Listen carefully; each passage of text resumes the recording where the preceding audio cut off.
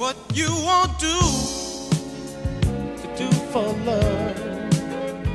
You tried everything, but you don't give up.